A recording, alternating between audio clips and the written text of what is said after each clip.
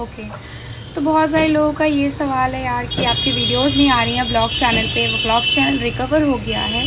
हाँ जी हो गया है। थैंक यू सो मच आप लोगों का इतना प्यार इतना सपोर्ट रहा है। My god my pimple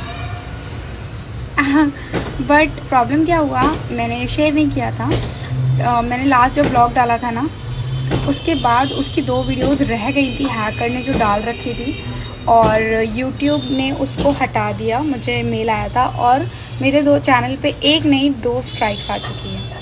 और दो स्ट्राइक का मतलब है कि ऑलमोस्ट ये समझो आधा चैनल चला ही गया तो उस चैन उस हैकर ने मुझे चैनल तो वापस उसकी वजह से आ, जो भी हैक होने के वापस तो आया बट पूरी तरीके से नहीं आया। तो मैं जब तक वीडियोस नहीं डाल सकती हूँ जब तक कि वो स्ट्राइक का टाइम पीरियड नहीं कम हो जाता यानी दो हफ़्ते तक मैं वीडियोस पोस्ट नहीं कर सकती हूँ।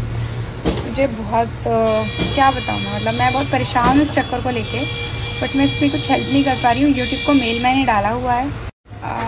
यूट्यूब को मैंने मेल डाला हुआ है कि वो वीडियो उस टाइम डली थी जब मेरा चैनल हैक हुआ था, इसमें मेरा फॉल्ट नहीं है।